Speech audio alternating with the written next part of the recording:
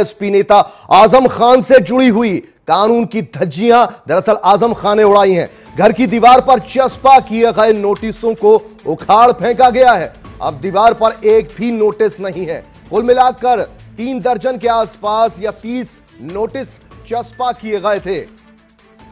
लेकिन अब जो बात सामने आ रही है, आज़म खान के घर के बाहर कोई भी नोटिस चस्पा नहीं है। सबको आज़म खान ने हटवा दिया है। बड़ी खबर इस वक्त की। लगातार उनकी तलाश है पुलिस को। संबंध जारी हो चुके हैं। अस्सी से पिचासी मामले उनके खिलाफ दर्ज हैं। जौहर यूनिवर्सिटी से लेकर बकरी चोरी, भैंस चोरी, इसके अलावा गैर कानूनी तौर पर जमीनों पर विवादास्पद तरीके से कब्जा करना, ये सारे मामले उन पर दर्ज हैं। इसके अलावा ना सिर्फ़ उन पे, बल्कि उनकी पत्नी, राज्यसभा सांसद भी हैं। इसके अलावा उनके बेटे, जो कि विधायक हैं, उन पर भी कई मामले दर्ज हो चुके हैं। तो अब दीवार पर कोई भी चस्पा नहीं है नोटिस। हालाँकि मुख्तलिफ़ एजेंसियों ने जो चस्पा किए थे नोटिस, वो पहले साफ़ दिखाई दे रहे थे।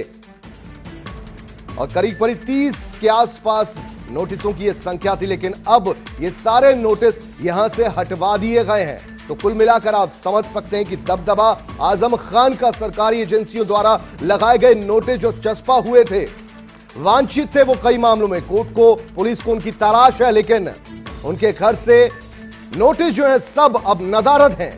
लेकिन फ़िलहाल आज़म खान पुलिस की गिरफ्त में नहीं है, ना ही वो कोर्ट में पेश हो रहे हैं। तो बहुत से मुख्तलिफ़ मामले उनके खिलाफ लगातार चल रहे हैं।